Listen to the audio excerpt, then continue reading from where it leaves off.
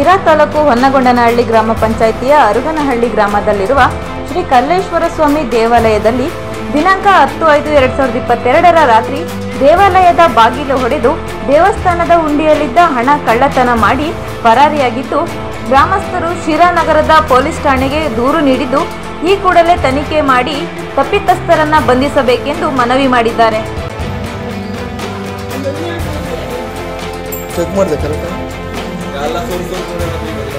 ಮೂರು ಕಣ್ಣಾಗ ಎಲ್ಲ ಇರೋದು ಎಲ್ಲ ಸುರ್ ಸುರ್ ಸುರ್.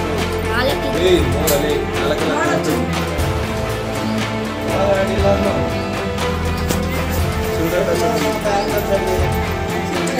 ಹಾಕು ಬಿಡಲ್ಲ.